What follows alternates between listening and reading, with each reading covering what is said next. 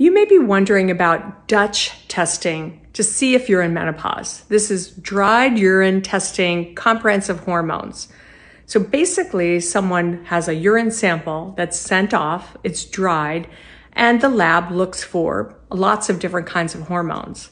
The problem is this has never been validated independently.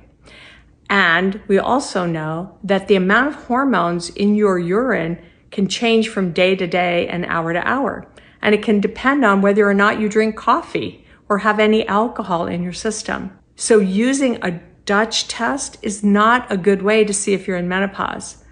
A better way is to ask yourself, am I having hot flashes or night sweats? Am I exhausted? Am I over 40? And then talk to a healthcare provider who's familiar with taking care of women at menopause. And you can find one through menopause.org. And leave me a comment or a question below, and I'll get to it.